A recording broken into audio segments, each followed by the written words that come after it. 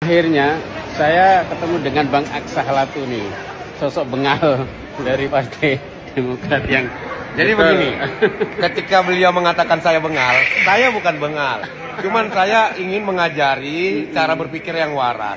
Jika Iya. prinsip sudah tidak bisa dipertahankan, untuk apa kita bertahan kepada orang yang menganggap prinsip? Iya. Dalam hal ini, saya menghormati Bapak saya SBY sebagai pendiri Partai Demokrat. Begitu juga ketum saya AHY. Namun, jangan ajari kami dalam satu hal yang tidak logika. Artinya begini, jika politik dianggap dinamis, ya, atau fleksibel, kenapa persoalan yang sebentar harus dibesarkan? Mhm. Persoalan 9 tahun sebagai oposisi ini seperti mimpi.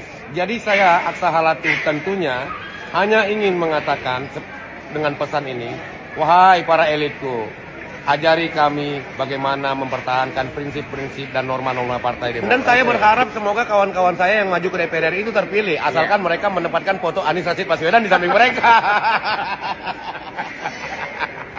Thank you, thank you. Sampai ketemu lagi ya. Saya izin balik ke Jakarta ya. Lama nggak apa-apa, nggak apa-apa. Nggak.